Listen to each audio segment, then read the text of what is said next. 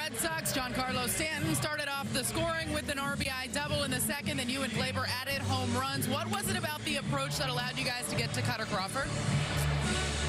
Kutter's a great pitcher. You know, he's got multiple pitches he can use that are plus stuff.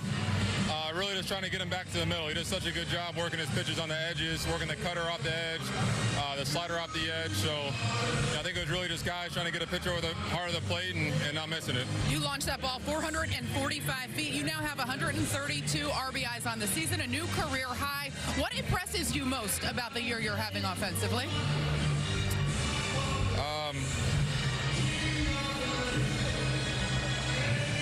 you know, we're winning games. You know, we're in first place. That's what I like. That's that's what it all comes down to. Everybody doing their job. You know, guys are on base. I got to drive them in.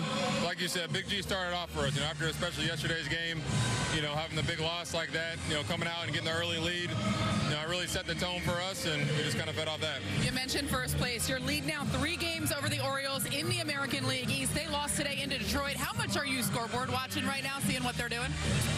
Not anymore. You know, I said it the other day. There's no need to do it.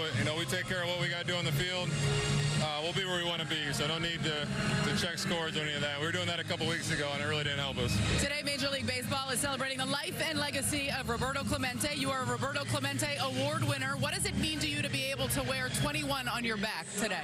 Oh, it, it's an honor. You know, just getting nominated for the award was was an honor and a blessing that you know, I know my family and I really enjoy. But to get a chance to to win the award and represent Roberto and you know, everything he did, not only for the game of baseball on the field, but you know what he did field, inspired the next generation of of of athletes, man. His, his impact is still, you see it in today, and a lot of the, the guys playing the game now. So, no, it was special wearing 21 today and then getting a chance to hit a homer while doing it. Aaron, appreciate the time. Thank you. Send it back to you.